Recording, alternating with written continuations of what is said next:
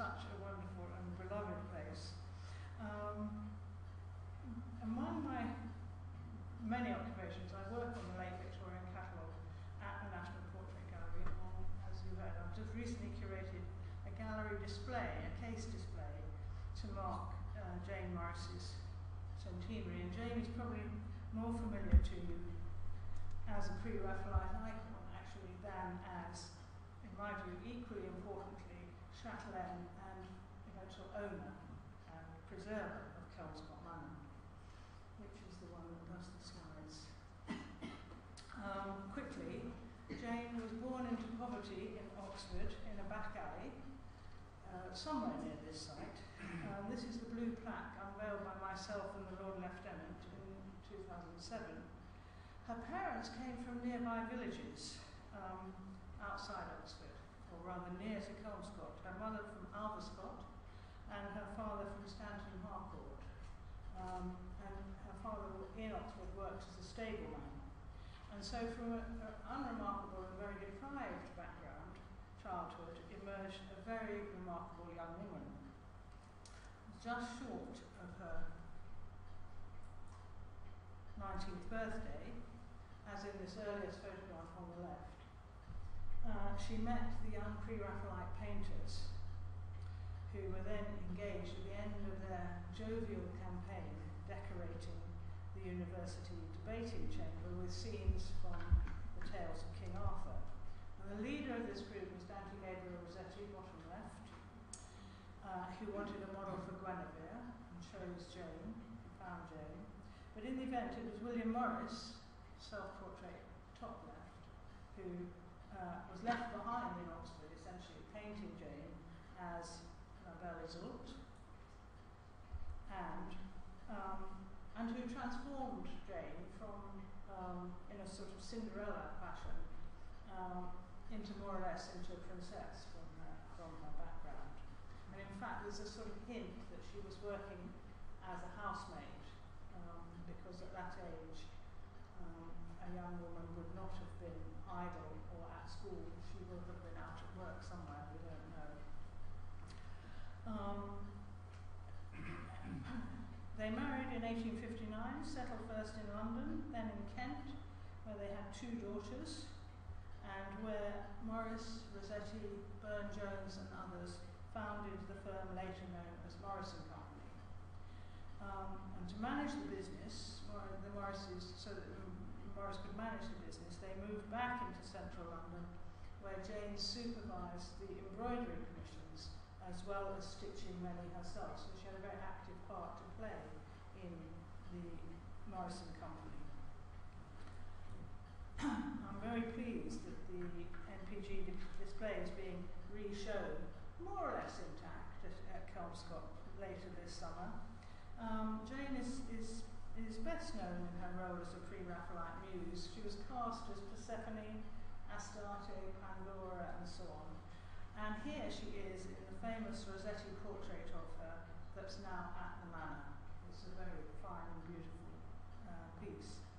But for the NPG, I wished to display, to present rather a real life Jane, with pictures of her family and friends, as in these from the sequence, famous sequence by Frederick Hollyer, showing, taken in 1874, showing the Morris and Burne Jones families together in London.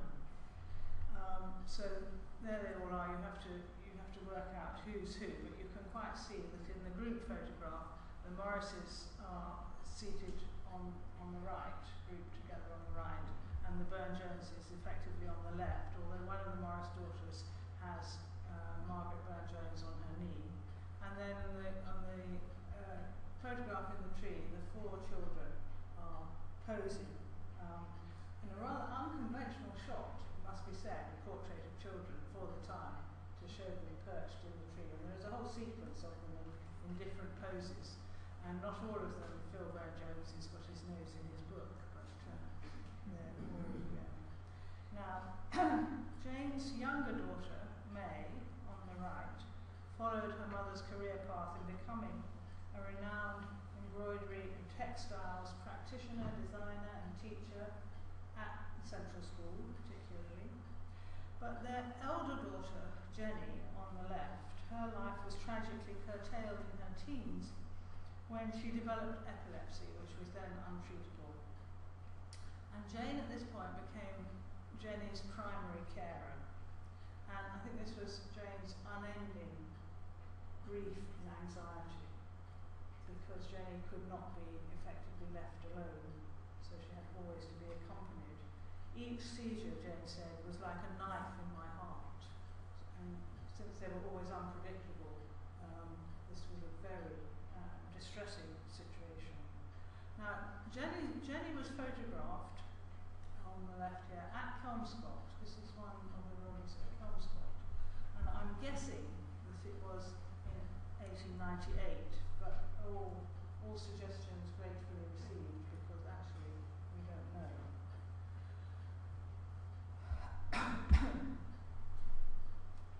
James?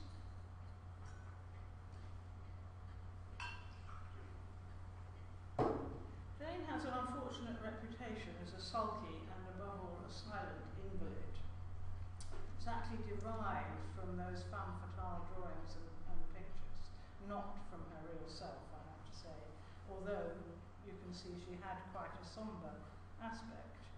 But it's as if it's as if an actor or model has had to embody uh, the role that she's playing. So you mustn't be you mustn't read Jane's character from the very famous images of her. And that has overshadowed other aspects of her life, including her extensive friendships, which is one thing that uh, the display is exploring. Now, portrait gallery displays, case displays, are drawn from works on paper within the permanent collection. So they're not anything, there's no loan works. And um, these are all um, works on paper in different media from the gallery's collection. And they include this fine drawing Jane's close friend Rosalind Howard on the left, later Countess of Carlisle, drawn by her husband, the artist George Howard. And uh, Rosalind invited Jane, to, Jane and her daughters, firstly, to join her on a couple of extended visits in Italy, um, when it was hoped that the climate might benefit Jenny's condition. Sadly, it didn't. Um, and it's a very nice drawing of Rosalind, and it marks George Howard's importance, I think, as an artist, but also he, he, he was a semi-professional artist as well as being um, Earl of Carlisle, MP, then a peer, and trustee of the National Gallery and many other public um, missions. It is um, poet Algernon Swinburne, whom Jane first met in Oxford, at, you know, when they were in Oxford, and who remained a lifelong friend. Um, and after Swinburne gave up drink, which um, was rather necessary, she would visit him in his sober aspect in Putney, when he insisted on reading his verses aloud whenever uh, they went. She reported, He's always rather difficult to follow as he puts so much action into his reading that things roll off the table making noises. The same, we enjoy our visits. I think he really likes to see old friends. And this is a caricature of Vanity Fair by Carlo Pellegrini. Other close friends included, on the left, artist Marie Stillman, Marie Spartali Stillman, seen here with her son Michael, um, who was, and then, and Marie Spartali, Mrs. Stillman, was a very close friend of Jane, particularly in the later uh, years of her life. And I think at Kelmscott you, you will see one of Marie's drawings of the manor because she was a, uh, she was a regular visitor there, and there were about six or seven views that she did over the years of the manor watercolours as she worked in. And on the right are Jane's other friends, the Cobden sisters, Jane and Annie, whom she met up with in Siena one spring. And this was when Annie Cobden, Annie, Annie Cobden became engaged to James Sanderson, who's the fellow, the single fellow in the group. Jane, of course, is the tall, uh, tallest one of them, and there's some debate as to whether as to whether the woman on the left or the woman on the right are Jane or Annie. Um, I always assumed that the one on the left was Annie Hopkins Arbuton because she's posing and James is holding her elbow, but there's some dispute about this. Um, Jane Cobden, if it is she on the right or on the left, was the first woman elected to the London County Council in 1888, although she was prevented from taking her seat. Um, James, Jane Morris supported her efforts, Cobden's efforts, although she was herself rather ambivalent about the suffrage and actively disliked the Pankhursts at the end of her life, who became rather noisy, she thought. Politically, Jane didn't follow William Morris into the socialist movement, but she remained a staunch liberal and within the liberal tradition a radical. Uh, she was, um, but she did share fully uh, sup- and support Morris's passions for fine craftsmanship and for architectural preservation, so that her, her contributions to SPAB, um, although very almost invisible, are, were definitely part of her um, activities. Showing slides at this scale gives a rather false impression. As you can see from these installation shots, uh, most of the works in the display are small, and being works on paper, they can't be shown in full light, so they, they are, has to be a rather dim light.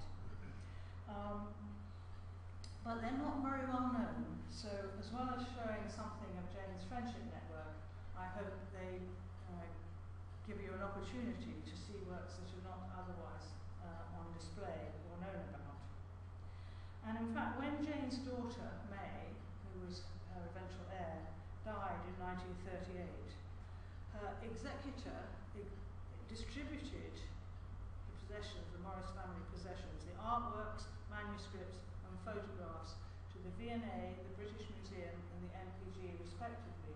So quite a lot of the small photographs, family photographs that are in the display, um, came from Jane's, were originally in Jane's possession, which is a direct link to the sitter, which is sitters, which is rather nice. They were um, snapshots and photographs that she herself had and kept.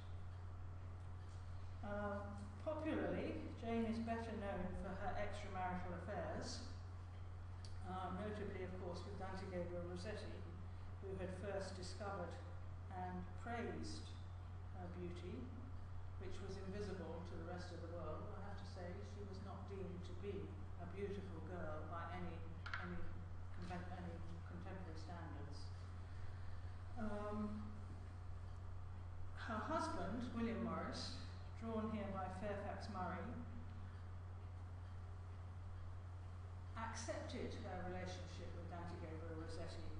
Uh, I believe that um, it was at Jane's instigation, and certainly to her delight, that their affair took off in the later 1860s. I would date the beginning of their affair essentially to 1868. Um, and one major result of this was the lease. Then a remote in a remote village, well it still is in a fairly remote village, and behind a high wall, so it was away from inquisitive eyes, where Jane and Rossetti could be together um, for the summer without too much um, publicity, as it were. And William Morris, as he departed for Iceland that first summer, 1871, he left Jane and the girls at Kelmscott with Rossetti and he wrote, Please, dear Janie, be happy. So I think we see Morris generously making Kelmscott Manor a place for Jane to be happy without him. And for a year she was. She sat endlessly to Rossetti and uh, had sonnet after sonnet composed for her, whole sequence that are inspired, hugely inspired. Perhaps, perhaps one day there'll be a poet in residence at Kelmscott Manor because certainly some very, very fine sonnets were inspired by it was a fairly scandalous episode altogether, of course, but because it was linked to the even worse scandal of the exhumation of Rossetti's poetic manuscript from the coffin of his dead wife, Lizzie Siddal. And that, again, that was in order so that he could publish his new poems in praise of Janie uh, without it being obvious uh, who, they were, who they were to. For. And again, that scandal has rather overshadowed Jane's reputation. Now, I believe this timing really tiny on the left. Ink drawing, self-portrait by Rossetti, which is in the display, was drawn by Rossetti as a potential frontispiece for his first collection of poems published in 1870. Uh, and, and as I said, in large part celebrating his adoration of Janie, although there were other poems included in it. Uh, sadly for Jane, Rossetti, their happiness was curtailed two years later by Rossetti's paranoid mental collapse, triggered by some belated bad reviews, but I think also by irresolvable inner conflict over his dishonourable conduct in courting and um, loving um, the wife of his close friend and part business partner. At Kelmscott, Jane helped to nurse Rossetti through the worst until she concluded that he was killing himself with overdoses of whiskey and chloral. And then he took those to drown out the hostile voices in his head, which gave him no respite. And the comic self selfie on the on the, on the right um, was, I suggest, drawn to amuse Jane, who took to complaining about his gloomy letters. You did write such a nasty letter, she said. Please don't don't write so many like that.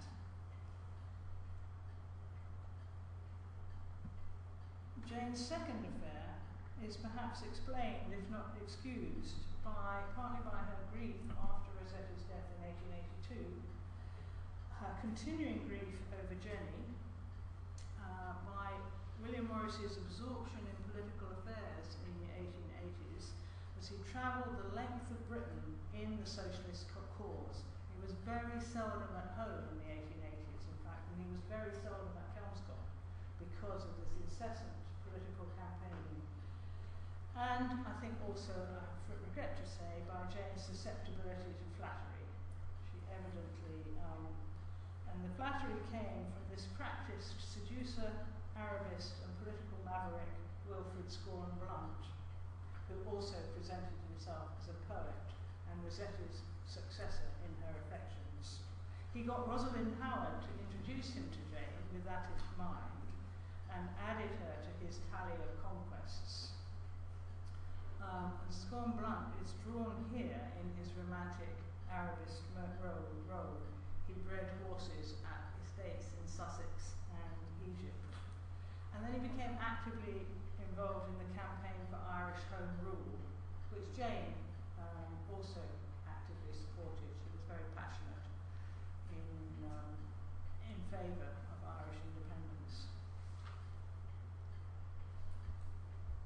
When, when William Morris died in 1896, Jane retained the lease on Kelmscott Manor because they um, didn't, hadn't bought it at all. They had an ongoing, a renewing lease. And she retained it as a summer home, partly for her daughters, who thought it the most beautiful house in all England and were passionately devoted to Kelmscott, but also I think for herself because she spent she was the one who spent most time there after Morris's death. She was always endeavouring to spend several of the summer months there because it was effectively uninhabitable in winter, owing partly because there was no heating, but also to the recurrent floods um, when, when the house was sort of marooned. It held memories, of course, of happiness, of the now famous paintings conceived there, like Proserpine on the left, seen in the, in the tapestry room, uh, a special special photo shoot, as it were, and Pandora on the right, which um, a couple of weeks ago failed to sell at, at Sotheby's, so may still be available if anyone has a couple of million, several millions. but in, interestingly, in widowhood, Jane didn't wish to be remembered as Rossetti's model and muse, but as Morris's wife and widow.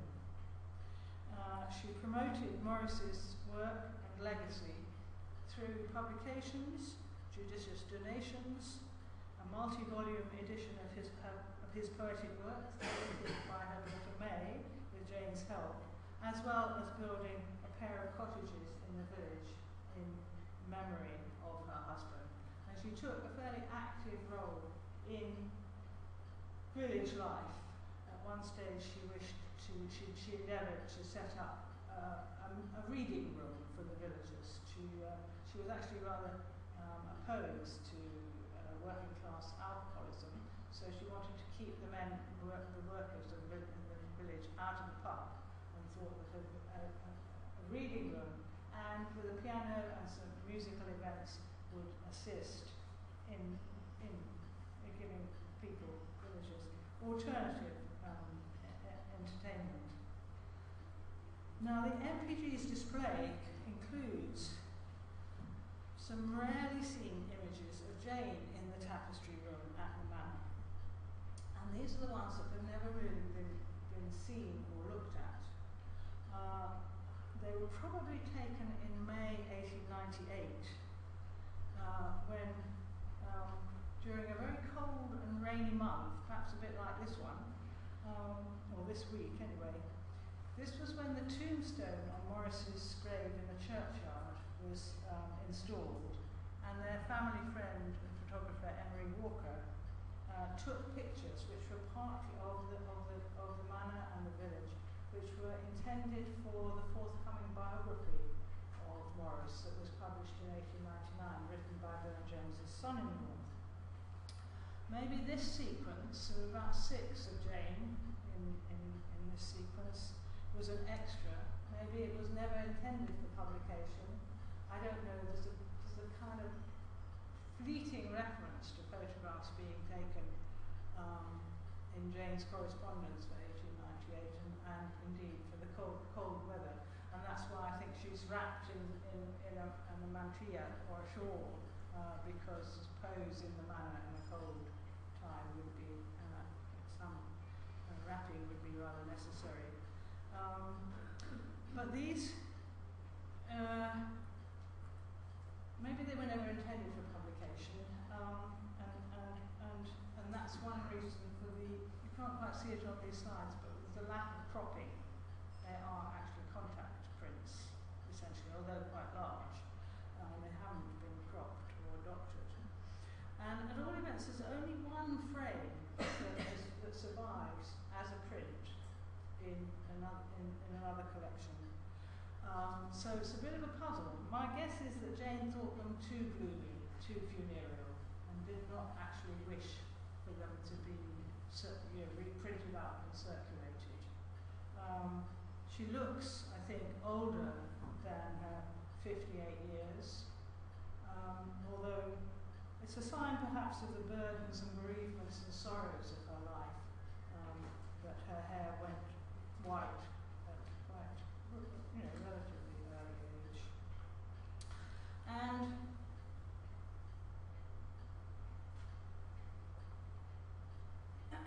the images, which is what we have to call them, themselves survived various, several vicissitudes.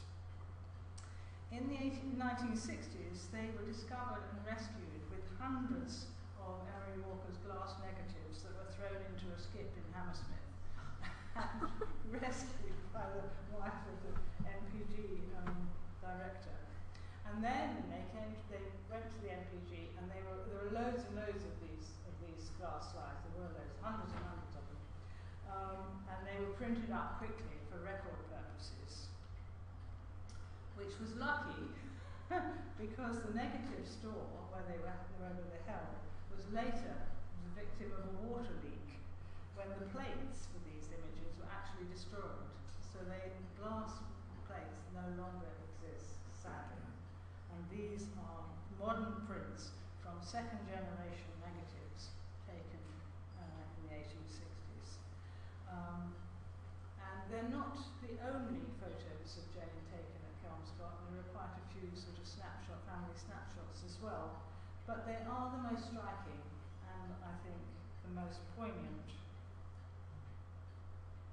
Um, marking her affection for Kelmscott, we need to underline Jane commissioned a copy of Rossetti's Water Willow, Rossetti's depiction of herself surrounded by images of the manor, top right, and the river, and the, and the punt, and the church, and the top, sorry, the manor's top left and church's top right.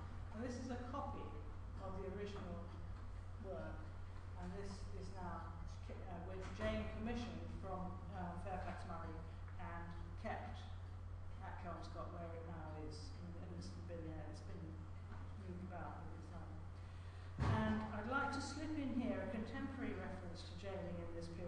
discovered by one of your fellows, National Portrait Gallery Director Sandy Nairn, that he found in a book on the Upper Thames by Fred Thacker, who recalled, this is a whole thing that's wholly new to me, Fred, this um, topographical artist recalled the great privilege in 1907 of being conducted over the house by Mrs. Morris herself.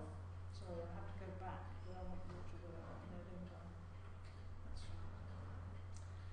By Mrs. Morris herself.